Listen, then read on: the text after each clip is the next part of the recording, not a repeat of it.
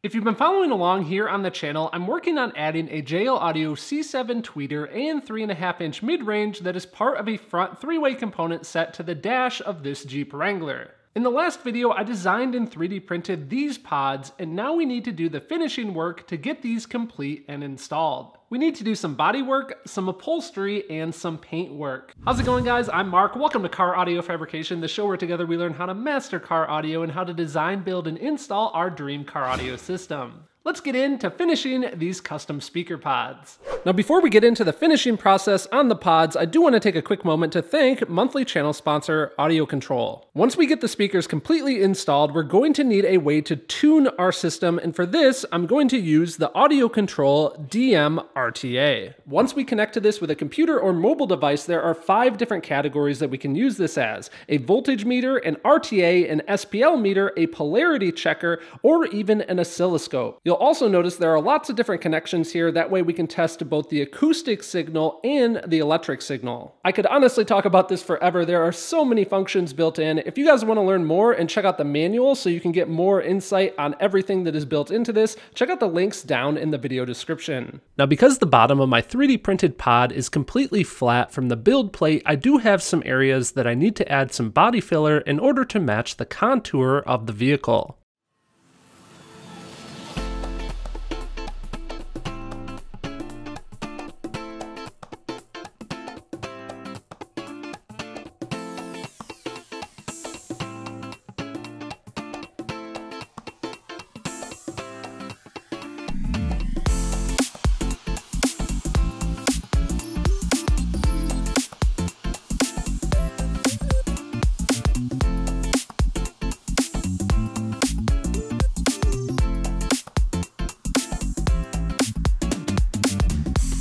All right, guys, so here's what we've got. You can see that little section there is nice and smooth. That's the main thing I was focusing on there. Just want to fill up that gap between the pod and the dash itself. And I'm gonna come back and I'll obviously sand away this roughness here. We're gonna need to do some fine filling on the sides. Did the same thing over on this side, on the driver's side, and then also on both sides of the vehicle, I did fill up this slight gap that exists on the front edge here. This way, we're really gonna have a nice finished look between the dash and the pod. It is super hot in the shop right now, which makes that body filler kick extra fast, but nevertheless, we're gonna let it set up for about 15 to 20 minutes. We wanna catch it while it's still in its green stage so that we can quickly sand it down and remove those imperfections. But let's give it some time. I'm gonna go grab a drink. Now that that body filler has cured, I've carefully popped these off the dash. And if you look at the bottom there, you can see it's taken the nice curvature to completely match that dash shape and be perfect. To start smoothing everything out, obviously I'm sanding, but the important tip I wanna hand down to you guys here is you wanna make sure that you're block sanding. I'm using this foam block and then going one direction diagonally and then another. And by using this foam, we get a really nice flat sanding job, unlike with your fingers where you're likely to have waves. The 3D printing process does leave a lot of lines that we need to fill up with the body filler.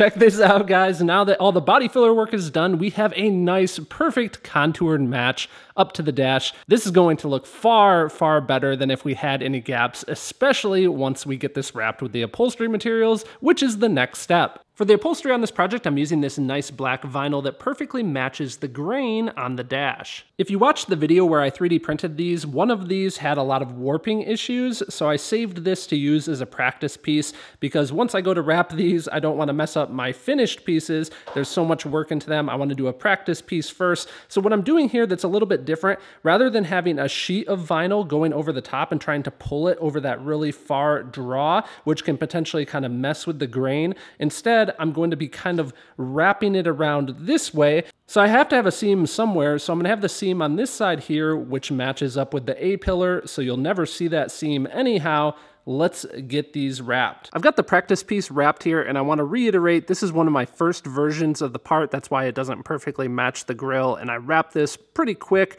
and didn't really take any time with the details just because I kind of wanted to see how this is going to look before I spent a bunch of time with it and I have to be honest I don't think I'm super crazy about the look of this vinyl being on this piece. The reason being, it just seems like a lot. It's like vinyl, vinyl, vinyl, and since this is actually plastic with vinyl grain imprinted on it, it's kind of more like a matte vinyl versus my vinyl, which matches. I put a little bit of glossy protectant on it already, so that's why it looks a little bit more reflective. But then you have the super reflective plastic here I, I don't know, it just seems like a lot of vinyl. So I'm kind of thinking I might like the look of making this a flat black, like the whole rest of the dash, especially since it will give us more of a transition of this being one piece, kind of vinyl to flat black to vinyl again. I think I'm gonna try painting these instead. That's why it's always nice to have a practice piece if you can. That way I didn't get a bunch of adhesive onto my finished piece and have to somehow remove it. I can just take this and I'm going to prime this and then I'm going to shoot it with that flat black paint.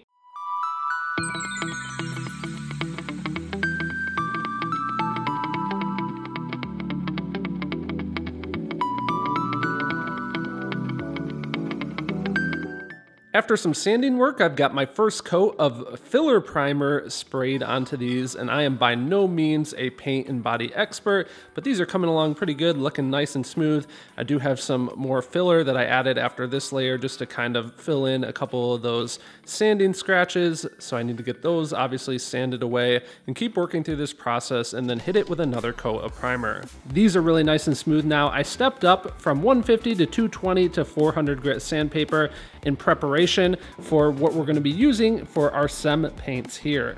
If you're doing any work like this, making something for the interior of a vehicle, I definitely recommend the SEM paints. We're gonna start with the plastic and leather prep just to make sure that everything is good and clean and we're gonna get a nice adhesion. And then we're going to use the texture coating. And the point of this is it's going to add just a really, really light, obviously, texture to the part. We can control the texture based on how far or how close we are to the part while we're spraying it. Then to get our parts to match the color of the interior of our vehicle, we'll use the color coat to finalize things. Now we're almost ready to move on to installation because I've got these coated in the color coat as well, and these are looking awesome.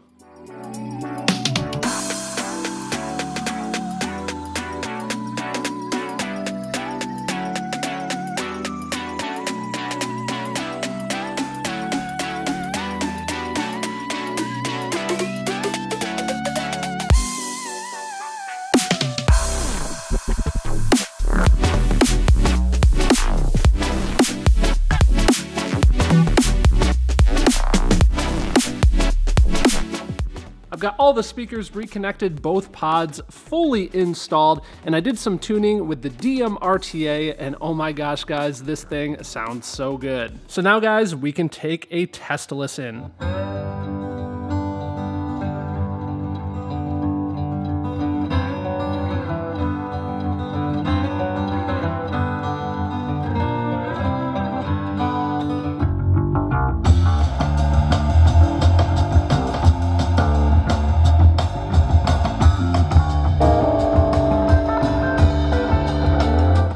Although we've been focusing on the speaker pods, there's also quite a few other things that I've done in this Jeep. I've added amps along with aftermarket amplifier racks. I've added two subwoofer enclosures, a fuse bracket, and wiring. So in the next video, we're gonna dive in and see more detail on how I did all those parts of the build. Next time you're tuning a car audio system and you want it to sound perfect, you definitely gotta check out the DM-RTA from show sponsor Audio Control. You can learn more at the links down in the video description. A special thanks to them along with Bart, Mike, Ali, Francis, Jerry, Marcos, William, and the rest of the Patreon membership team. A big thanks to all those guys for making these videos possible.